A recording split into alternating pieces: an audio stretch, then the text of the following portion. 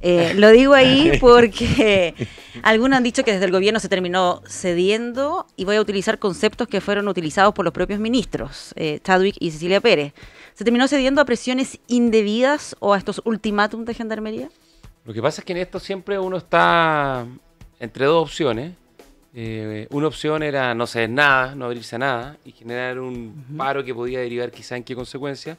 Y la otra, abrir un proceso de diálogo porque hay, hay demandas que son legítimas en el mundo de gendarmería. O sea, la situación carcelaria es realmente dramática, eh, por lo tanto hay que abordarlo.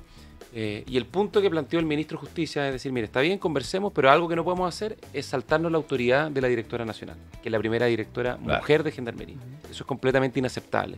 Es un servicio, un servicio que tiene una dirección nacional y esa dirección hay que respetarla. Y ese es el planteamiento finalmente y se acordó una mesa de trabajo, eh, liderada y conducida por Patricia Méndez, que es la directora nacional, eh, y eso es, razonable, eso es positivo. Más allá de, lo razonable que fue eh, el ministro Larraín en, en, sus dos jugadas, la primera es reunirse, pese a esta, a esta suerte de, gallito que se estaba produciendo, y la segunda me parece a mí hacer respetar la, la jerarquía.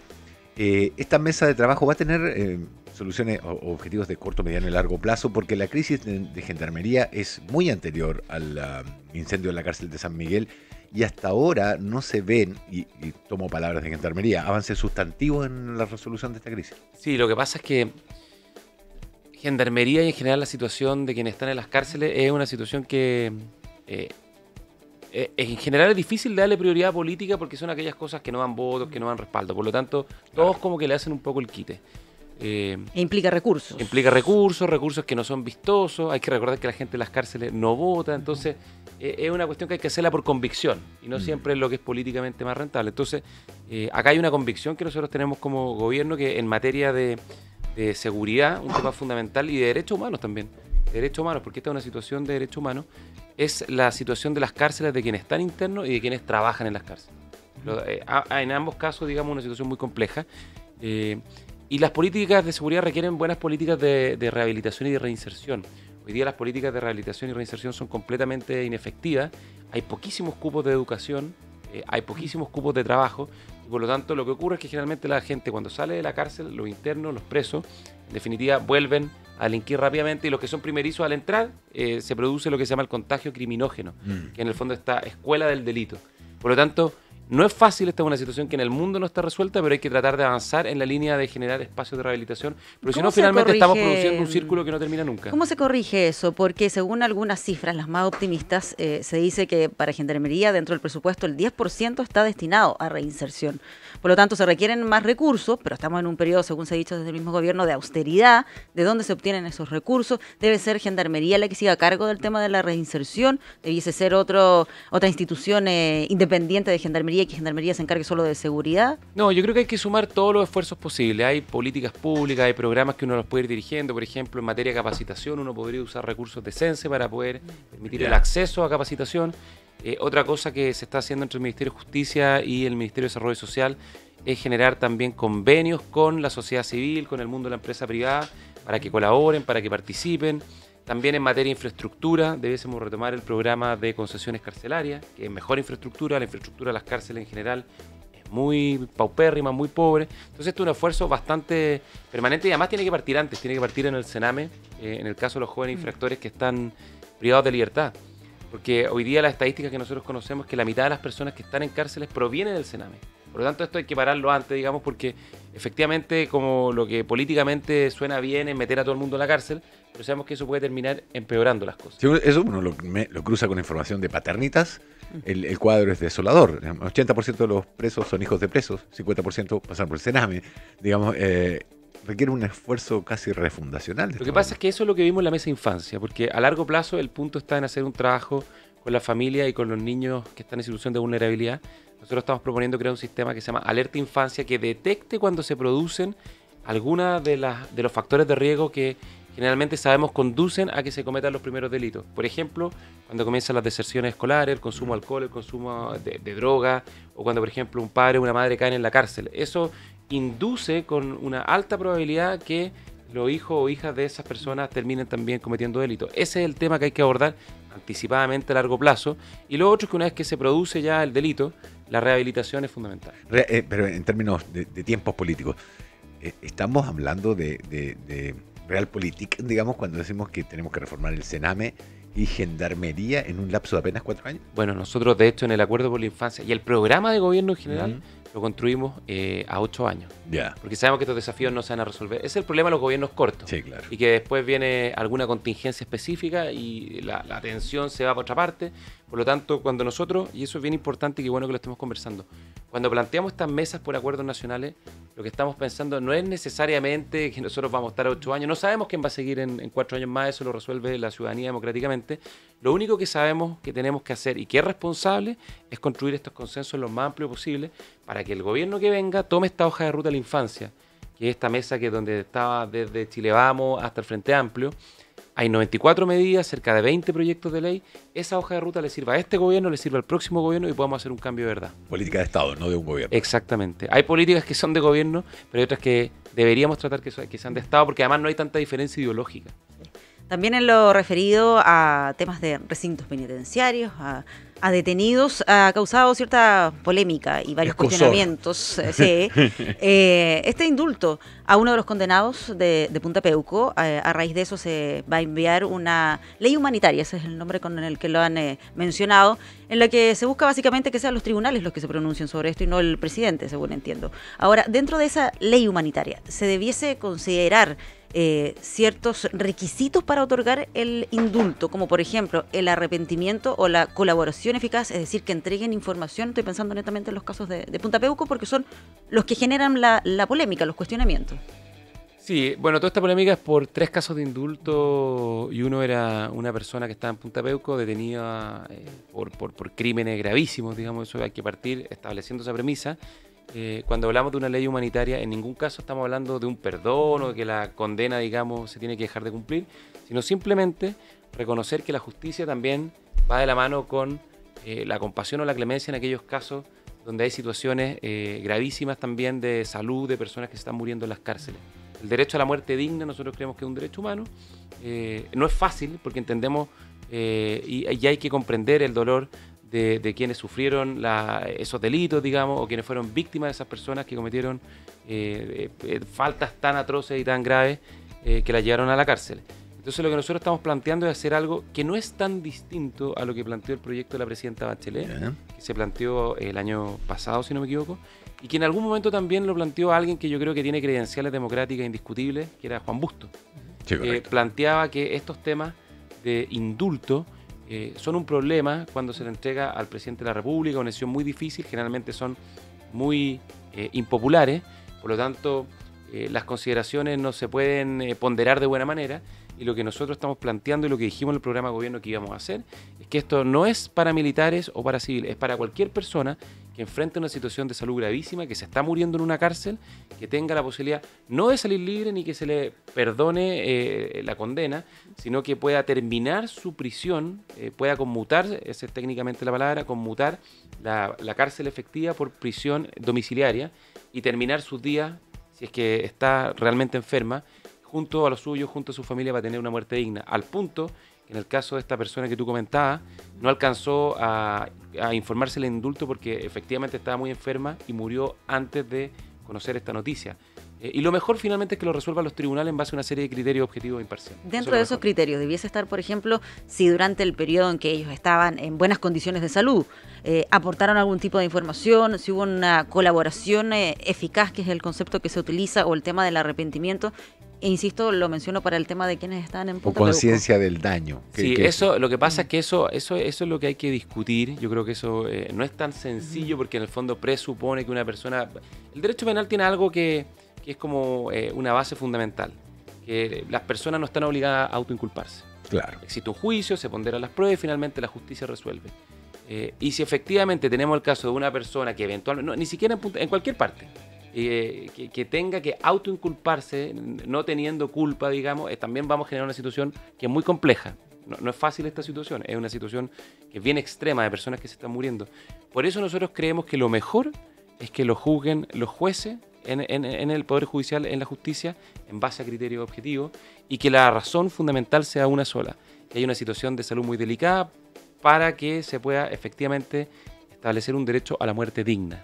Ahora, ¿no, no, no, ¿no suena un poco extraño en términos de justicia, en el término más amplio de la palabra justicia, que el caso de, de Cardemil Figueroa, de que es el que estamos hablando, una persona que cometió los delitos en 1973, fusiló a una mujer embarazada, de hecho, y recién fue encarcelado en 2011. Entonces, el, del tiempo transcurrido entre el delito al encarcelamiento, uno saca las cuentas y pasó casi toda su vida en libertad y casi todo el tiempo posterior a este delito en libertad, pese a lo horroroso que este delito era. Entonces, ¿no hay también ahí una, una vulneración de este tan difícil concepto de justicia para ambas partes? Estoy de acuerdo, estoy de acuerdo, sobre todo cuando se aplica justicia después de 30 años y los familiares las víctimas han tenido que esperar tanto tiempo. Es un círculo que no se cierra nunca eh, y, que, es difícil, digamos, de asumir. ¿Le encuentra razón a los familiares de las víctimas en eso? No, sí, yo creo que a los familiares uno no les puede pedir, eh, no les puede pedir en esto eh, que acepten en forma tan directa algo que es tan complejo, porque es comprensible desde la posición de ellos algo que parece extremadamente injusto. Pero pero en esto nosotros creemos que hay razones de fondo, humanitarias, y es independiente de, quién sea la persona. En esto es un poco como la justicia rolsiana, que es un, filósofo eh, americano, que plantea esta idea de, del velo de la ignorancia o la imparcialidad de la justicia. Las reglas de la sociedad tienen que aplicarse sin saber efectivamente para quién le van a caer, sino que en el fondo imaginarnos que un ente que no sabemos quién es finalmente, o una persona se le, se le aplica esta regla, eh, independiente de esas consideraciones si es justo o no es justo. Pero el derecho moderno tiende más a, la otra postura, la que dice que los delitos de lesa humanidad requieren un tratamiento especial. No, requieren un tratamiento especial, es correcto eso, pero también eh, se establecen consideraciones humanitarias. Eh, de hecho, en la Comisión Interamericana hubo recientemente un dictamen que recoge que bajo ciertas condiciones o circunstancias, eh, efectivamente pueden darse este tipo de, de situaciones de generar eh, indulto o conmutaciones de pena, porque esto no es indulto, es una, conmutación, de la pena, que es bien distinto porque hay que hacer esa diferencia cuando se cumplen ciertos criterios esto, no es generalizado, es criterios muy acotados. Es que ya que el concepto es humanitario, ¿no sería humanitario también el eh, poder colocar algún tipo de incentivo para que quienes están en buenas condiciones de salud y tienen alguna información sobre dónde puedan estar eh, detenidos desaparecidos o qué es lo que ocurrió en, determinada circunstancia, pudiesen entregar esa información que tanto también esperan los familiares? Pero eso es otro punto. Yo creo que eso tiene que ver con la justicia transicional. Y eso es legítimo y eso está bien. Y de hecho se han hecho esfuerzos en ese sentido. Hubo distintas mesas, hubo distintas instancias. No siempre fueron todos los efectivos que, que, se esperaba que fuesen. Pero, pero el tema de fondo yo creo que, que otro. E insisto, eh, está de alguna manera la discusión contaminada por la situación de, de, Punta Peuco, digamos, pero esta es una regla general al punto que estos indultos que se entregaron fueron tres, dos para civiles y uno para un militar que finalmente, o ex militar que falleció. También hubo dos civiles que enfrentan, enfrentan una situación de salud eh, también muy dramática, muy compleja, eh, y en el fondo lo que uno establece finalmente es que puedan tener una muerte junto a sus familiares, manteniendo la prisión en su domicilio o bien en un centro asistencial. Eh, lo llevo a un tema un poco más, más, perdón por la palabra que voy a usar, más ligero. hay un duelo de aquí de semántico entre, ¿cómo era? Frenesí legislativo y sequía legislativa. O obstrucción también. obstrucción legislativa también estaba en la discusión. Eh, ¿En qué etapa legislativa se encuentra este gobierno? Porque con un programa bastante nutrido, la proporción o la proporcionalidad de leyes ingresadas al Parlamento o al, Congreso, digo, parece ser como bastante menor de lo que uno esperaba. Lo que pasa es que esta es una discusión bien rara, porque eh, el gobierno del presidente Miñera lleva apenas tres meses, un poquito más, es poquito. Y al parecer eh, a algunos les baja la ansiedad porque todo se haga eh, no sé, todo este año y no quede ningún nada para el próximo año. Esto obviamente nosotros tenemos una estrategia legislativa que la tenemos que ir dosificando en función de los escenarios políticos, eh, pero ya hemos venido avanzando rápidamente en las leyes fundamentales. ¿Y cuál ha sido la estrategia? La estrategia, por una parte, eh, en esta primera etapa ha estado más bien asociada a lo que son lo que nosotros llamamos las urgencias sociales, por eso partimos fuertemente con el tema de la migración. Estamos impulsando una política migratoria que combina eh, ordenar las reglas junto con también una mirada eh, humanitaria de derechos humanos de regularizar. Ayer el presidente entregó documentos a migrantes que se habían regularizado, algo que que, Visa y que- yo creo que en vista de lo que ha pasado en Estados Unidos, de llenarnos de orgullo que hemos podido hacer este proceso con, relativa, con relativo orden. Eh, entonces el tema de la migración fue una primera prioridad. Tenemos la ley de migración en el Congreso, en la Comisión eh, de Gobierno Interior de la Cámara de Diputados. El tema de la salud y, el acceso a los fármacos. Hoy día tenemos un problema que los remedios son carísimos en Chile. Con la ley de fármacos. El tema de la educación superior. Eh, cumplimos nuestros compromisos rápidamente. Tenemos una ley en el Senado sobre gratuidad, eh, para extender la gratuidad a los estudiantes técnicos profesionales. Y también otra que es bien estructural y bien de fondo, es la que Oye, termina... estoy escuchando el programa de gobierno de la concertación. Es que lo que, pasa, lo que pasa es que a mí me llama la atención cuando dicen que no hay proyecto y, y vamos viendo y hay proyectos muy importantes. El que termina con el CAE. El que termina con el CAE es un proyecto estructural. El gobierno anterior se demoró cuatro años en mandarlo. Eh, finalmente no lograron dar con una fórmula, una fórmula, lo mandaron a última hora y ahí quedó, no pasó nada. Claro, pero Nosotros tendrá en que ver un meses lo poco con, lo- mandamos. con los anuncios. Yo revisaba así titulares antiguos. Ministro Blumel anuncia que ingresarán al Congreso 25 proyectos en 90 días. Bueno, Esto de fue hecho, en, hemos, en eh, abril. Hemos ingresado, a ver, Mm. para ser bien preciso, Ujú. hoy día nosotros tenemos 38 iniciativas legislativas impulsadas por el Ejecutivo. De las 38, 20 son proyectos nuevos y 17 son proyectos que hemos impulsado con indicación. Y quizás lo que ha llamado la atención que nosotros cambiamos la estrategia respecto a lo que se venía haciendo antes. ¿Por qué? Porque la estrategia eh, simple eh, de la retroexcavadora era retirar proyectos y mandar proyectos nuevos. Y hacerlo lo más rápidamente posible, independiente si las leyes eran buenas o no tan buenas, y ahí a matacaballos se sacaban en el Congreso. Nosotros lo que hemos dicho es que esto se tiene que hacer sobre la base de lo que hay, de lo que se venía haciendo. Somos un gobierno que tuvo un, respaldo en las elecciones muy grande, pero tenemos minoría en la Cámara y en el Senado, es parte de la realidad. Por lo tanto, por lo tanto tenemos que construir acuerdos y en eso implica ir viendo caso a caso. Por ejemplo, ustedes estaban comentando recién, eh, lo escuchaba cuando venía para acá, la ley que establece la imprescriptibilidad de los delitos sexuales contra menores de edad. Que es una ley como socialmente muy demandada, que ha estado muy presente en el último tiempo. Nosotros podríamos haber mandado un proyecto nuevo. ¿Y qué es lo que hicimos? Eh, tomamos un proyecto que está en el Congreso de senadores de la oposición, de Jimena Rincón, de Jaime Quintana, y enviamos o introdu- introdujimos lo que se llama una indicación sustitutiva. ¿Qué es una indicación sustitutiva? Es un articulado completamente nuevo, pero que se introduce en el proyecto de estos parlamentarios. De Es como- manera coherente. Claro, es como un auto que tú le sacas, eh, dejas como la carrocería y le metes toda la estructura interior y el motor nuevo. ¿Por qué hacemos eso? Porque eso permite generar más acuerdos y generar más avance y de hecho ese proyecto ya se aprobó en el Senado en la Comisión de Constitución. Entonces, Tal vez claro, tiene que ver llama- con llama un algunos poco la proyectos más atención. mm, esperados, por ejemplo, lo que tiene que ver con las pensiones. eh, también en algún momento se habló del tema de, de nepotismo. Estoy pensando también en lo que se quiere hacer en modificaciones tributarias. bueno, Ese tipo de, de hecho esa de ley, temas. la ley que se llama de integridad pública, Mm. la vamos a firmar posiblemente la próxima semana y enviar al Congreso. Eh, y la reforma tributaria y las pensiones, que finalmente yo creo que eso es lo que está esperando la oposición, eh, tan ansiosa por conocer nuestras propuestas, eh, la vamos a enviar en no mucho tiempo más, dos, tres meses más, no más que eso. Nosotros hicimos un compromiso, de hecho, el lunes, 15 proyectos para este segundo semestre, todos fundamentales e importantes, la reforma carabinero, la reforma tributaria, la reforma de las pensiones, la reforma de la ley de ISAPRE. eh, pero nosotros hemos venido avanzando y tenemos los proyectos en el Congreso y lo que nosotros queremos es, trabajar y colaborar lo máximo posible eh, para que, pese a estar en minoría, podamos construir acuerdos y sacar esta nueva ley de fármacos, esta nueva ley de migraciones, la ley que termina con el CAE y crea un nuevo sistema solidario para la educación superior. ¿Por qué en dos, tres etcétera. meses más tiene que ver también con que se está tratando de, de, a ver, que estos temas, que estos proyectos se conversen con Chile Vamos, que se pueda ahí llegar a ciertos acuerdos eh, y que luego de eso se manden al Congreso? Porque estoy pensando, yo por ejemplo, creo- en pensiones, que ahí el propio ministro ha dado algunas luces de hacia dónde va a apuntar, pero es un tema complejo, lo del, Por varias todo lo que tiene que ver razones, con las por varias razones. Yo te diría primero porque efectivamente tenemos que construir consenso interno en la coalición Mm. y a veces no es fácil. ¿Está difícil generar consenso al interior de la No, coalición? no, no, no tanto, pero hay algunos proyectos que sin duda son más difíciles. Ustedes vieron lo que pasó en la ley de adopción, que hay posiciones bien divergentes, no solo la coalición, también con la oposición. Entonces, primero siempre hemos dicho, construir consensos con, eh, con Chile Vamos, luego con la oposición, pero además, eh, y yo creo que es lo que le importa a la gente, no es la cantidad de leyes, hoy día hay más de 20.000 leyes, sino que se hagan buenas leyes. Ya nos pasó que leyes muy importantes que se impulsaron hace algún tiempo, hemos visto que no han generado lo que decían que iban a generar o han causado derechamente problemas. Está La- hablando de la ley, la, la reforma tributaria. bueno, de hecho nosotros tenemos que hacer una reforma tributaria porque la reforma tributaria anterior no quedó bien y eso es reconocido por todos, por Moro y Cristiano. O por ejemplo la reforma educacional, nosotros estamos discutiendo hoy día una ley que dejó el gobierno anterior, que se llama Ley Miscelánea de Educación, que corrige varios problemas que dejaron las reformas educacionales.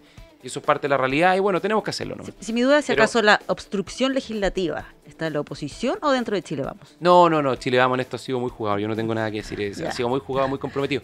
Porque ahí eh, se ven diferencias, por ejemplo, pero, mira, algunos aspectos técnicos. En materia, por ejemplo, en materia de pensiones, eh, nosotros tenemos que nuestra reforma de pensiones pasarla por el Consejo Consultivo de Pensiones, por ley, es un consejo externo al gobierno. Por lo tanto, nosotros tenemos que preparar esta reforma, prepararlas bien, tomarnos un tiempo, hacer las simulaciones. En materia, por ejemplo, de tributaria, tenemos que ver con impuestos internos si es que lo que nosotros creemos que hay que hacer, efectivamente es posible operativamente hacerlo. En materia de ISAPRE, tenemos que hacer las, simulaciones porque si hacemos una mala regulación, podemos hacer que explote el sistema. Entonces, en esto hay que ser muy cuidadosos. Chile ha tenido históricamente una tradición de buenas políticas públicas eh, y tenemos que recuperar esa tradición de hacer buenas leyes, que las leyes se tomen su tiempo y que salgan bien, porque finalmente eso es lo importante. Hacer leyes por hacer leyes no sirve nada. Las leyes, como dice un informe del CEP, eh, y las reformas y las políticas públicas en general tienen que hacer el bien y tienen que hacerlo bien. Porque intentar hacer el bien pero que no resulte sirve poco y hacer bien las cosas malas tampoco sirve. Por lo tanto, hay que hacer bien las cosas. Es una regla para todos, digamos. Se, me quedan dos asuntos que me hacen notar a través de Twitter. El primero es que cuando usted habla de que las personas tienen derecho a una muerte digna, eso contempla una ley de eutanasia. Y, la segunda es sobre la reforma tributaria.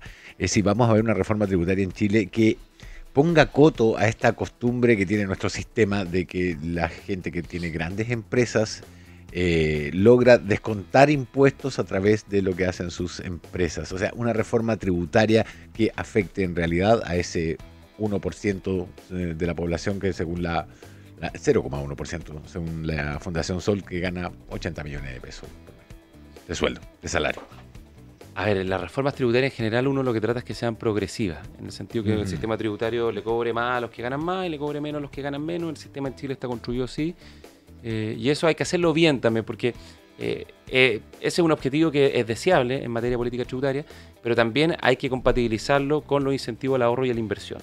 En definitiva, si no generamos esos estímulos, lo que pasa es que no hay, no, hay, no hay incentivo a que en las empresas las utilidades se reinviertan, sino que se saquen hacia los dueños de, la empresa y finalmente se gasten. Eh, y lo que nosotros queremos hacer es introducir estímulos para simplificar el sistema, darle más certeza. Hoy día el principal problema del sistema tributario es de incerteza jurídica. Los contadores, ustedes han visto cómo han reclamado que no se entiende nada. Y que además vuelva a haber fuertes estímulos para el ahorro y la reinversión. Eso es.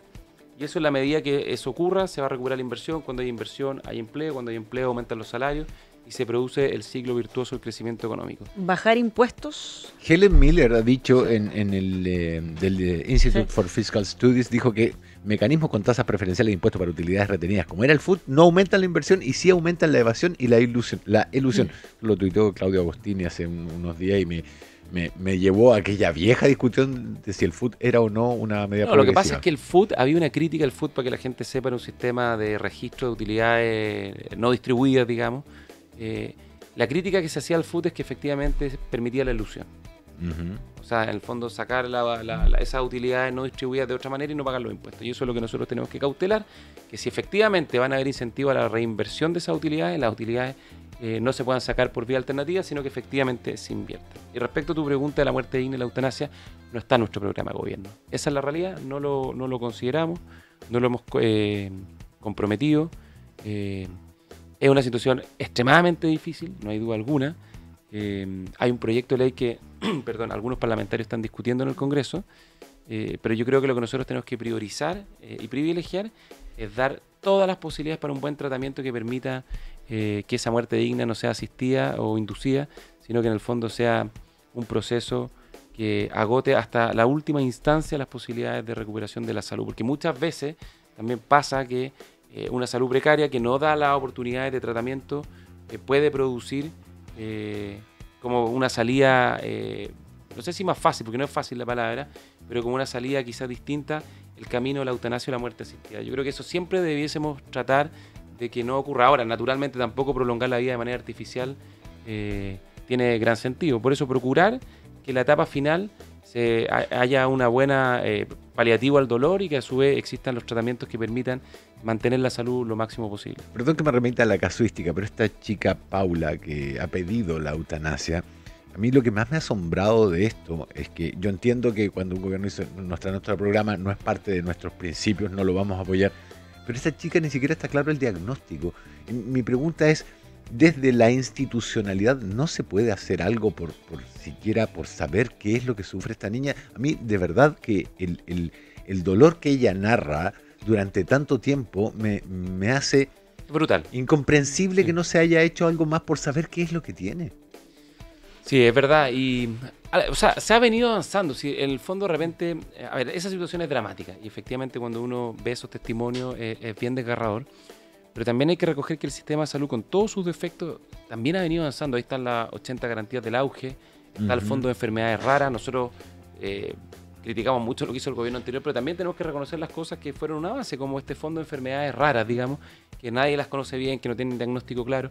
Y tenemos definitivamente que seguir avanzando en esa línea, porque son pocos casos, pero son casos muy dramáticos.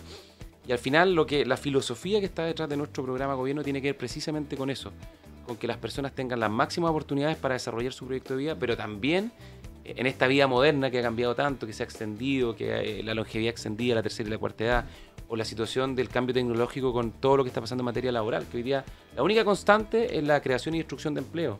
Entonces, toda esa incertidumbre de la vida moderna tenemos que acompañarlas mejor. No solo en materia de salud, en materia laboral, en materia de lo que sea. Sí, sí, la, la única duda que me queda con el tema de la eutanasia es si el gobierno prefiere no meterse en esta discusión. Eh, porque dentro de, quienes apoyan al gobierno no están de acuerdo con la eutanasia o porque no quieren colocar un tema valórico que va a seguir ahí generando diferencias. No, no, yo creo que es un tema que genera eh, muy poco consenso, no solo en Chile, vamos, yo creo que la oposición también. Es un tema. Porque desde Bópoli yo tengo la sensación que sí hay algunos que están. Sí, pero, pero mira, yo te diría que transversalmente en los sectores políticos no hay gran consenso. Es un tema muy nuevo. En el mundo es un tema también súper polémico. No es, no es como el, no sé, como era el divorcio en su momento. Que Chile efectivamente estaba en las cavernas porque esos raros países que no tenía divorcio y así con muchas otras leyes en materias valóricas. En este caso no es la regla general efectivamente es un tema que las sociedades en todo el mundo la están discutiendo. Sí, y me queda una última duda, ya que le toca eh, conversar diariamente con los parlamentarios. Eh, ¿Qué le parecen los sueldos, lo que ganan los parlamentarios? Lo digo porque esto que pasó hace algunos días atrás, algunas semanas, en que se aprobó esta moción que busca eh, darle urgencia apurar la discusión para reducir los sueldos a los legisladores. Eh, y el propio presidente Piñera se cuestionó los sueldos, consideró que eran elevados para las necesidades y las urgencias que tiene el país. ¿Coincide con lo que dice el presidente Piñera? O sea, lo que pasa es que objetivamente, si uno mira los informes, sueldos son elevados. O sea, eso es un dato objetivo. Aquí hace mucho tiempo aprendí que existen los juicios y las afirmaciones. Las afirmaciones eh, a veces son opiniones y los juicios son categóricos sobre datos objetivos. Y en este caso son datos objetivos. Eh, ahora, yo creo que en esto el problema hay que mirarlo un poquito más estructural que tiene que ver con toda la renta alta en el sector público. Porque hay grandes disparidades en las empresas públicas, en algunos servicios. Hay servicios de primera categoría, servicios de segunda categoría, junto con el Congreso, etcétera. Entonces yo creo que eso lo tenemos que mirar. Nosotros lanzamos este lunes nuestro Consejo de Modernización del Estado, que lo lidera el ex Contralor Ramiro Mendoza. Entonces es parte de las materias que podríamos mirar en esa, en esa instancia. Y lo otro que yo creo que es más importante con eso, eh, porque yo creo que el problema que le molesta a la gente no es tanto el nivel del sueldo, que que moleste sin duda, pero también es que la función parlamentaria se haga de la mejor manera posible y sea lo más profesional posible. Yo creo que también es elevar un poquito el estándar. en ese sentido nosotros vamos a presentar la próxima semana seguramente, o a más tardar la subsiguiente, ojalá la próxima, esta ley de integridad pública. ¿Y qué es lo que va a hacer esta ley de integridad pública, que complementa esta ley de transformación digital del Estado que presentamos esta, otra, eh, esta semana? Es avanzar y modernizar los estándares de nuestras instituciones y de los funcionarios públicos, regulando de mejor manera el ingreso al sector público, la permanencia y la salida del sector público, al sector privado. Y en eso están los parlamentarios. Para evitar la puerta giratoria. Exactamente. Queremos subir los estándares, fortalecer la función parlamentaria, aumentar la exclusividad de esa función parlamentaria para que el trabajo legislativo, el trabajo parlamentario sea de la más alta calidad y eso garantice que tengamos eh, buenos parlamentarios y también buenas leyes. Ministro Gonzalo Blumen, le agradezco muchísimo por haber venido esta mañana. Son las 8 eh, con 7 minutos ya y tenemos que hacer una pausa. De nuevo, muchísimas gracias. Chao, gracias. Gracias, ministro, por acompañarnos.